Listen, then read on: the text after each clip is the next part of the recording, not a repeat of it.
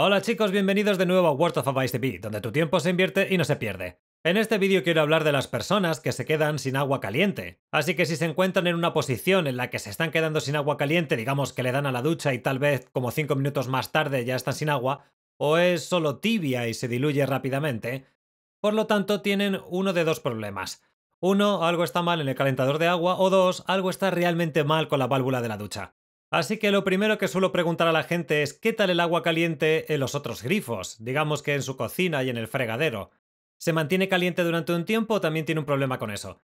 Lo más probable es que si todos los grifos de la casa, incluidas las duchas, tienen ese problema, entonces probablemente tengan un problema con el calentador de agua.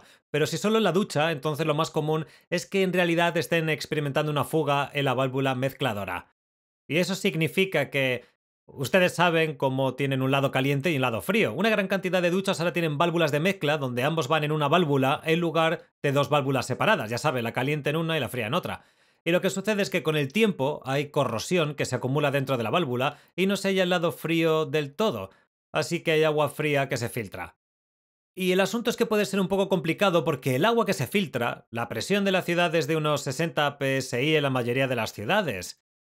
Así que si hay una fuga de agua, puede afectar al resto de los grifos también, porque está retroalimentando el agua fría a través de todo el sistema. Siempre que estén usando el agua caliente y comienza a salir, digamos que ya está tibia y fría, bajen a su calentador de agua y encuentren la tubería caliente. Será la que tiene el collarín rojo como este, o dirá caliente en el propio calentador de agua. Hay uno caliente y otro frío. Tomen el lado caliente y agárrenlo.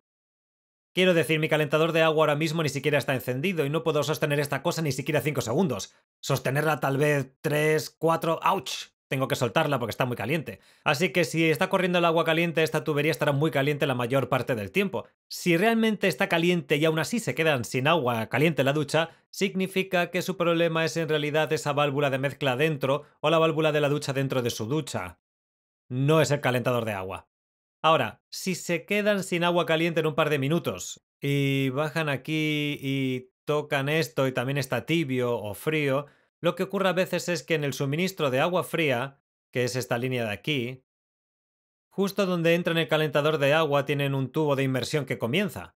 Es un tubo largo de plástico que entra en el calentador de agua y que baja hasta el fondo del calentador para llevar el agua fría al fondo del calentador de agua primero. Y lo que sucede es que a veces ese tubo de inmersión se rompe. Tal vez como en el punto medio, o si se rompe la parte superior, eso es aún peor, y el agua fría, en lugar de ir todo el camino hacia abajo primero, circulará desde el suministro de frío de nuevo en el caliente.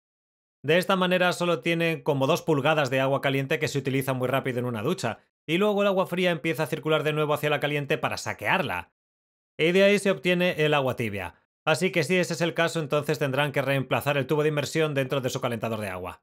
El trabajo no es demasiado complicado. Si ustedes son hábiles deberían ser capaces de hacerlo. Solo tienen que buscar en YouTube cómo cambiar el tubo de inmersión de un calentador de agua. Es posible que tengan que cortar algo, hay plomería involucrada, pero no olviden que su problema podría ser en realidad que la válvula de ducha, esa válvula de mezcla del frío y el agua caliente que se unen, puede que tengan que sustituir eso también, que también requiere cierta plomería. Pero una vez más, la manera fácil de comprobar si ese es el caso o no, una vez que se quedan sin el agua caliente en un par de minutos, se baja aquí, se agarra esa tubería de agua caliente, si pueden sostener esa tubería por más de 10 segundos, significa que el problema es probablemente el tubo de inmersión. Si no pueden sostenerlo mucho tiempo porque está muy caliente, entonces lo más probable es que el problema sea la válvula mezcladora de la ducha.